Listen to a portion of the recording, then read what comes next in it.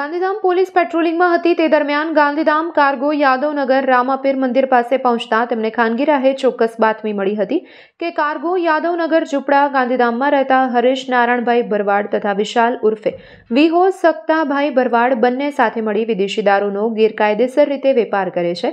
તેમજ હાલમાં વિદેશી દારૂનો જથ્થો હરેશ નારાયણભાઈ ભરવાડના કબજાની ઓરડી આગળ ગેટવાળા ફળિયામાં રાખવામાં આવેલ છે, જેથી પોલીસે બાતમીવાળા સ્થળ પર દરોડો પાડી વિશાલ ઉર્ફે વિહો સક્તાભાઈ ભરવાડને પકડી પાડ્યો હતો. પોલીસે ફળિયામાં ઓરડીના આગળના ભાગેથી ભારતીય બનાવટની વિદેશી દારૂની બોટલ ભરેલી પેટી મળી આવી હતી.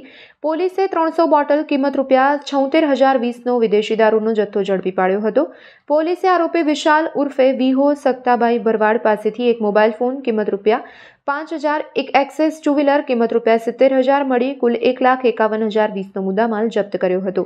પોલીસે પકડાયેલ આરોપી વિશાલ ઉર્ફે વિહો શકતા ભરવાડને દારૂ અંગે પૂછતાછ કરતા વિદેશી દારૂ હરેશ નારાયણ ભરવાડ લઈ આવેલ હોવાનું અને એક્સેસ ટુ વ્હીલર હરેશ ભરવાડનું હોવાની કેફિયત આપી હતી. ગાંધીધામ બી ડિવિઝન પોલીસે આરોપી વિરુદ્ધ ગુનો નોંધી કાયદેસરની કાર્યવાહી હાથ ધરી છે.